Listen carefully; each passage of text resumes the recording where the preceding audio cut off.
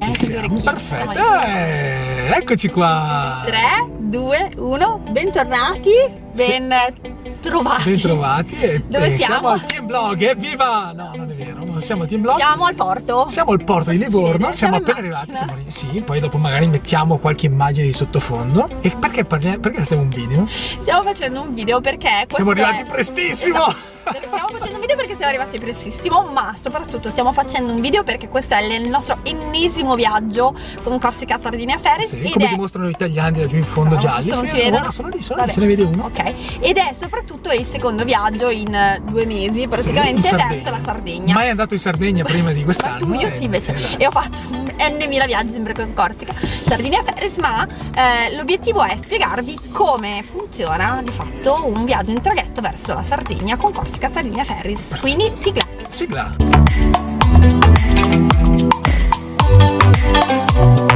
Dicevamo, niente di particolarmente complicato, No. però ci sono alcune cose da tenere presenti. Siamo segnati Ok, qualcosa. prima cosa, è numero via uno. Numero uno. non ci ricordiamo più no Trovare il barco. esatto Il porto dove partono i traghetti è sempre abbastanza grande, quindi insomma trovare la strada potrebbe non essere così facile, soprattutto se si arrivate all'ultimo minuto, eh, perché le Ah, no. navi non aspettano. esatto. non stavolta infatti siamo Infatti particolarmente parti con largo anticipo. comunque va bene quindi guardate i cartelli, seguite le indicazioni e prima o poi da qualche parte arriverete, arriverete e lo troverete, insomma dai, non è difficile. la seconda cosa invece da tenere presente e da ricordarsi sono i documenti perché Non dimenticatevi la carta d'identità a casa perché ve li chiedono, eh, quando arrivate al porto, prima di entrare vi chiedono i documenti e quindi dovete farveli vedere. e il ticket ma il ticket potete presentare quello online Esatto. Terza cosa, se viaggiate in automobile e magari avete un po' paura, insomma, di entrare insomma, all'interno della nave, parcheggi, eccetera, così, le manovre, non avete tanto le misure, insomma, non vi sentite tanto sicuri, non abbiate paura, fidatevi degli inservienti, sono bravissimi, fanno questo tutti i giorni. movimentatori credo. Esatto, se loro vi dicono gira volante a destra, tu gira volante a destra, anche se ti sembra una stupidaggine, tu fallo e va bene. Obbedisci.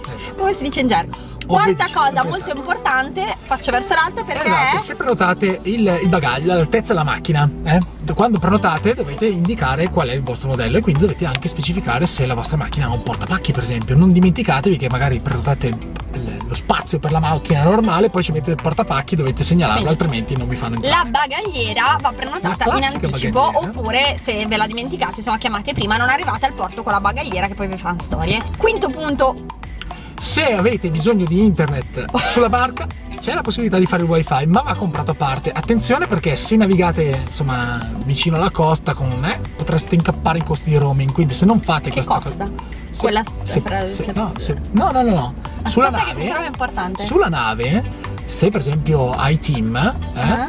se navighi vicino alla costa, eh, Ah. magari prima prendi il segnale della costa e quindi non paghi, Ah. ma poi se vai sulla nave ti attacchi al roaming della nave. Ah, E ok. quindi paghi, Quindi per cui spegnete i attenzione, dati. spegnete i dati perché andate in roaming. spagne- spe- spagnete, spegnete i dati. Esatto, o altrimenti fate l'abbonamento per il wifi se, non, se volete navigare sui social. Se notte, volete va bene, però di giorno in effetti sì. C'è la possibilità Ok, di questa è una paranoia da blogger, ma va bene. È vero. Ultimo punto, Il passaggio ponte, cabina, Cosa? eh, poltrona, dipende, questo Allora, dipende molto. questo lo dico io. Eh, esatto, meglio. All- io ho sempre fatto passaggio ponte. All'aperto. Ah, sulle no, non è vero. Cioè, cioè, diciamo che me la sono sempre un po' così giocata.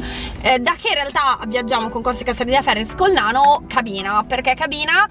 Perché è una figata. Per- soprattutto perché eh, per esperienza, mettiamola così, se avete un bambino, dormire buttati per terra e la nave magari balla un po' non è il massimo. Quindi valutate la cabina se fate la- il notturno, se fate il diurno, in realtà invece su queste navi c'è la sala giochi, sembra sono un sacco di cose che possono intrattenere il bambino, quindi di fatto la cabina è superflua. Però di notte con i bambini, insomma, Ma- vabbè, io ma da mamma solo, faccio ma- la mamma italiana. Ma anche per il guidatore, dai, magari Vabbè. se arrivate come noi da Milano, arrivate qui e siete un po' Ah. anziani come sottoscritto, Esatto. magari un po' un riposino di qualche ora fa Riposino. anche. Quindi in tutto Abbiamo questo finito. abbiamo finito. Adesso ci imbarchiamo Sì. e la Sardegna ci Aspetta!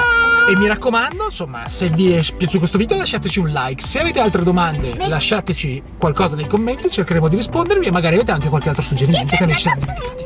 e soprattutto Piacciata campanella! Schiacciate la campanella, la campanella, la campanella, iscrivetevi al canale. Ding, ding, ding, ding, ding, ding, Ciao!